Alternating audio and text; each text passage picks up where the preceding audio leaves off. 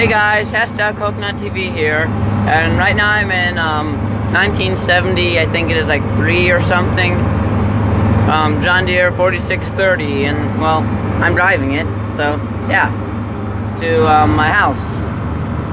If you don't know, I live on a farm, so I have a lot of tractors I get to drive.